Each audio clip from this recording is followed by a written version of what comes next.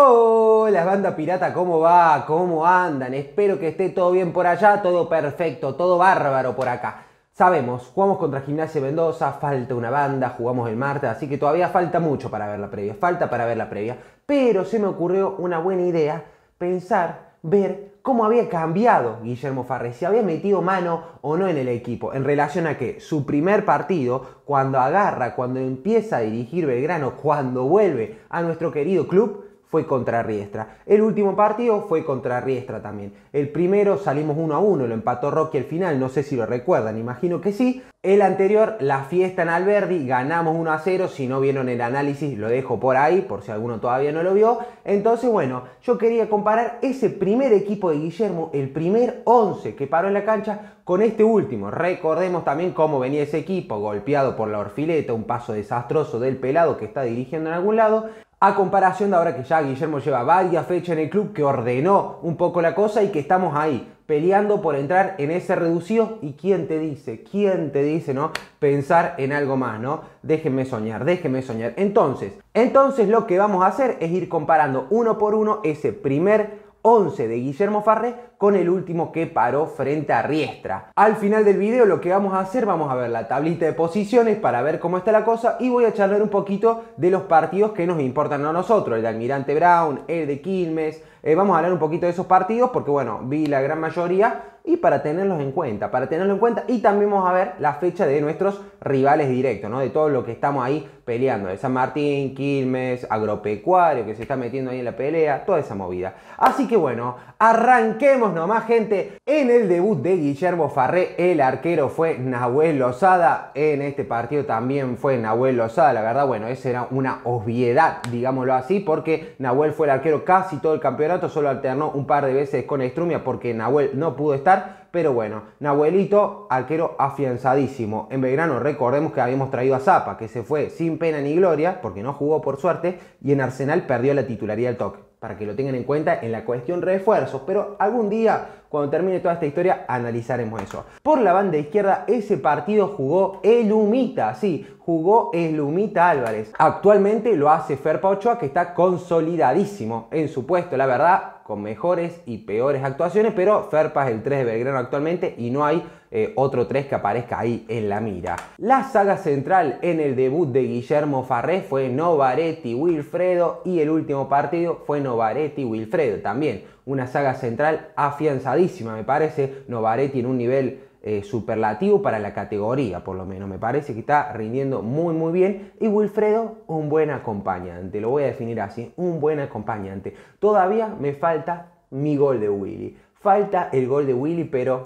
Ojo, ojo que él dejó una declaración, yo no voy a decir nada, dejó una declaración interesante. Por la banda derecha, el 4 contra Riestra fue el Colo, el Colorado Barinaga Cafú que estaba ahí bien afianzado. Actualmente está jugando Ulises Sánchez, Cafú está desgarrado, así que esa es una baja obligada o un cambio obligado. Hay que ver de paso y ya me echando con la previa, supuestamente Cafú ya debería estar para jugar contra Gimnasia. Ulises lo viene haciendo de menor a mayor, lo voy a definir así la pasó quizás peor con Brown, con San Martín un poco mejor y con Riestra partido superlativo, partido superlativo, ¿no? También obviamente un rival inferior, ¿no? Por lo menos en la tabla de posiciones un rival inferior, pero bueno, Ulises viene con cierto rodaje y vamos a jugar un partido clave, un partido clave, así que hay que ver qué decisión toma Guillermo ahí. Pasando al medio campo, gente, en el medio ese partido fue Santiago Longo y Emiliano Nano Romero, el uruguayo, bueno.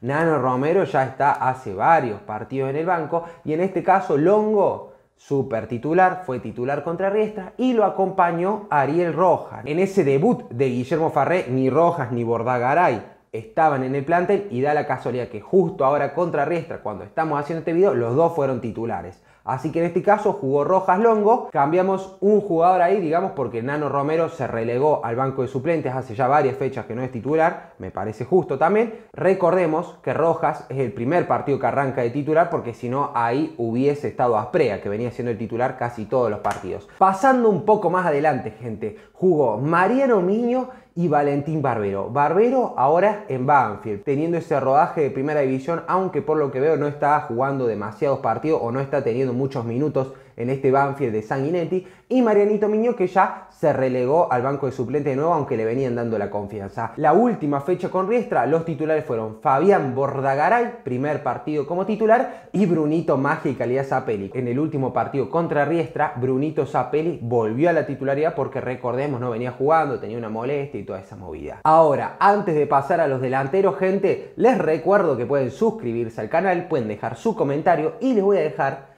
al final del video dos historias, dos historias de fútbol que yo hago en mi otro canal. Así que si quieren pueden ir a verlas también. Se pueden suscribir a ese canal y todo eso me sirve una banda. Con tres clics hacen feliz a una persona. Nunca, nunca van a tener la posibilidad de hacer feliz a alguien con tan poco, ¿eh? Nunca. La dupla de ataque, como siempre, como casi todo el campeonato, en el debut de Guillermo Farré y en el último partido de Guillermo Farré fueron Rocky y Vegetti. En total son cinco variantes desde el primer equipo de Guillermo Farré hasta este último que vimos contra Riestra en Alberdi con gente que fue una fiesta, una caravana total.